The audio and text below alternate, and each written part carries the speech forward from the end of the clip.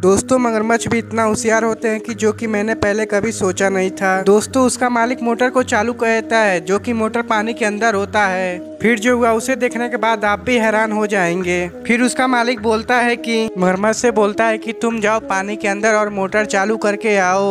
यानी हमको पूल का पानी खाली करना है फिर दोस्तों ये मगरमच्छ पानी के अंदर चला जाता है हम भी हैरान है कि ये मगरमच्छ आगे क्या करने वाला है फिर मगरमच्छ सचमुच पानी के अंदर चला जाता है और पानी के बाहर आके बोलता है मालिक मैंने मोटर ऑन कर दिया है फिर उसका मालिक हैरान हो जाता है कि मोटर चालू हुआ है कि नहीं बाहर जाता है चेक फिर दोस्तों इसका मालिक घर से बाहर आता है देखता है कि मोटर से भी पानी निकलने लगा और पुल भी धीरे धीरे खाली होने लगा है दोस्तों ऐसे होशियार मगरमच्छ के लिए वीडियो को एक लाइक कर चैनल को सब्सक्राइब कर दीजिएगा